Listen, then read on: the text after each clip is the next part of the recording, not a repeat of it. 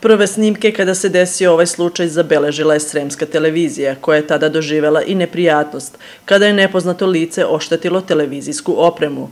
Tog jutra u šumi su Erići i Jeličići stigli u potragu za tartufima. Sukob između braće eskalirao je brzo, nakon čega je Dejan Erić ispalio smrtonosne hice, dovodeći do tragičnog ishoda. Odlukom Višeg suda u Sremskoj Mitrovici Dejan Erić je osuđen na 20 godina zatvora za dvostrugo ubistvo braće Jeličić iz Futoga, dok je njegovom bratu Nebojši Eriću, koji je prvobitno bio osumnječen za ova dva ubistva, tokom istrage obustavljen krivični postupak, jer se on pojavio kao jedini svedok ovog događaja pored Dejana.